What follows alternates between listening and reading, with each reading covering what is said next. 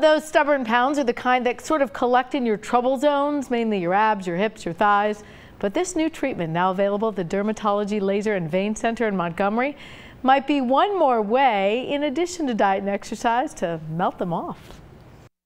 Even um, doing exercises and stuff, it just seemed like I still had that big layer of fat. After years of struggling to lose weight with diet and exercise alone, Jamie Morgan, a busy mom, decided it was time to try the newest tool to target trouble zones. I have three kids. I have a very busy lifestyle, two jobs. It is called Sculpsure.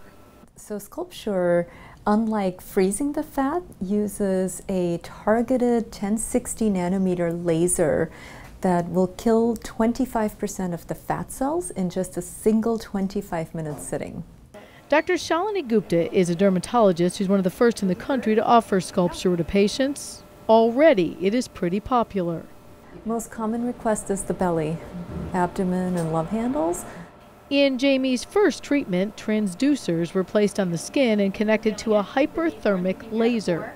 It is then programmed to go through the skin, cool it, and disrupt the fat cells underneath so they are reabsorbed by the body.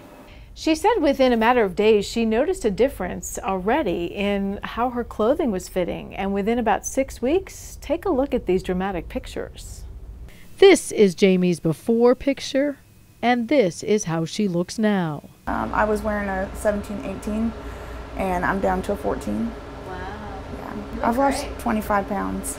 So the advantage is that there's absolutely no recovery time for the patient and the patient can resume all normal daily activities including strenuous exercising immediately after the procedure. The fat cells don't return and no serious side effects of the treatment have been reported. I was very excited.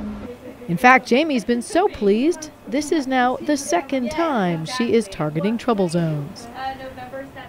Now, the one downside, the cost. Therapy costs about $1,500 if you want to use about four of those little transducers. Depends on the size of the area actually you want to target.